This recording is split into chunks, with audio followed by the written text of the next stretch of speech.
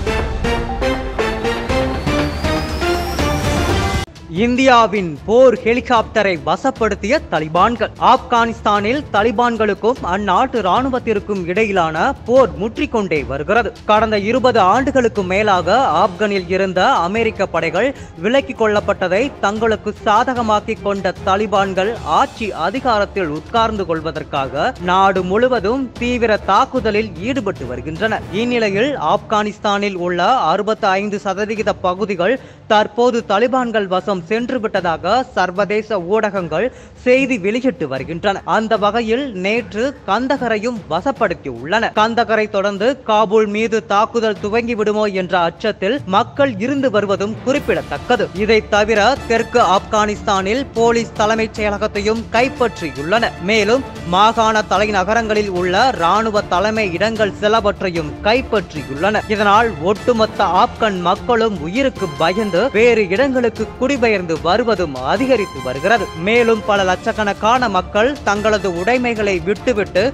பாதுகாப்பு கருதி காபூலுக்கு இடம்பெயர்ந்து உள்ளனர் இந்நிலையில் ஆப்கானிஸ்தானுக்கு இந்தியா வழங்கிய எம்ஐ டுவெண்டி போர் அட்டாக் ஹெலிகாப்டரையும் அவர்கள் கைப்பற்றியுள்ளதாக புகைப்படம் வெளியாகி இருக்கிறது கண்டூஸ் பகுதியில் நிறுத்தப்பட்டிருந்த ராணுவ ஹெலிகாப்டரை சுற்றி தற்போது தலிபான்கள் நிற்பது போன்ற புகைப்படத்தில் ஹெலிகாப்டரின் ரோட்டர் இன்றி காணப்படுகிறது. கடந்த இரண்டாயிரத்து பத்தொன்பதாம் ஆண்டு இந்தியா ஆப்கானிஸ்தானுக்கு வழங்கிய இந்த attack helicopter MI twenty four தற்போது தலிபான்கள் வசம் சென்றிருப்பதை பார்க்கும்போது ஆப்கானிஸ்தான் மக்களின் நிலைமை கேள்விக்குறியாகி இருக்கிறது. இதனால் உலக தலைவர்களை நோக்கி அந்நாட்டு பிரபலங்கள் சிலர் உதவி கோரி வருவதும் குறிப்பிடத்தக்கது.